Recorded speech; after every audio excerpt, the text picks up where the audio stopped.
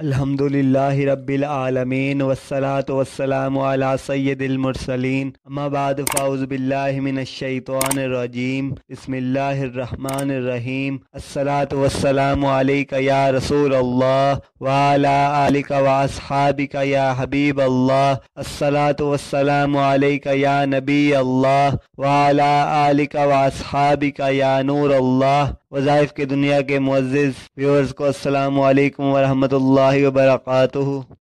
آج جو وظیفہ میں پیش کروں گا، وہ ہے حمل کی حفاظت کا وظیفہ۔ وظیفہ عرض کرنے سے پہلے حصول برکت کے لیے درود شریف کی فضیلت سن لیتے ہیں۔ اللہ عز و جل کے محبوب حضرت محمد صلی اللہ علیہ وآلہ وسلم کا ارشاد ہے۔ جس نے مجھ پر سو مرتبہ درود پاک پڑھا، اللہ تعالیٰ اس کی دونوں آنکھوں کے درمیان لکھ دیتا ہے کہ یہ نفاق اور جہنم کی آگ سے آزاد ہے۔ اور اسے بروز قیامت شہدا کے ساتھ رکھے گا۔ جیسا کہ آپ جانتے ہیں، حمل کے زمانے میں عورت وزنی غذائیں نہ کھائے جس سے قبض پیدا ہو۔ حاملہ عورت اس بات کا خیال رکھے کہ وزنی سامان نہ اٹھائے۔ غم اور غصہ نہ کرے، نہ زیادہ خوشبو سونگے۔ حاملہ عورت کو چلنے پھرنے کی عادت رکھنی چاہیے، کیونکہ ہر وقت بیٹھنے سے سستی بڑھتی ہے میدا خراب ہو جاتا ہے۔ اگر حاملہ عورت کو الٹی آئے تو پودینے کی چٹنی یا کاغذی لیمو استعمال کرے۔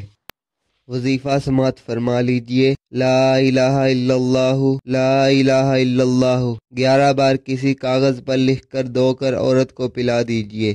انشاءاللہ عزوجل حمل کی حفاظت ہوگی۔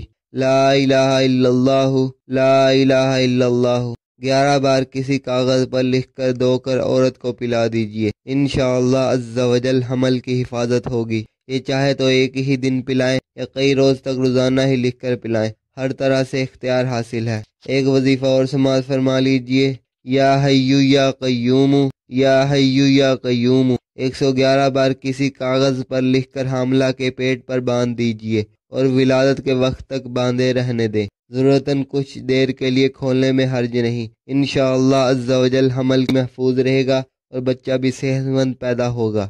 دوبارہ سماعت فرما لیجیے، یا حیو یا قیوم، یا حیو یا قیوم، ایک سو گیارہ بار کسی کاغذ پر لکھ کر حملہ کے پیٹ پر باندھ دیجیے اور ولادت کے وقت تک باندھے رہنے دیں۔ ضرورتاً کچھ دیر کے لیے کھولنے میں حرج نہیں۔ انشاءاللہ عز و جل حمل بھی محفوظ رہے گا اور بچہ بھی صحت مند پیدا ہوگا۔ یہ جو وظیفہ عرض کیا گیا ہے، امیر اہل سنت کی بہت ہی شاندار کتاب ہے مدنی پنج سورہ۔ اس میں سے بھی آپ پڑھ کر عمل کر سکتے ہیں۔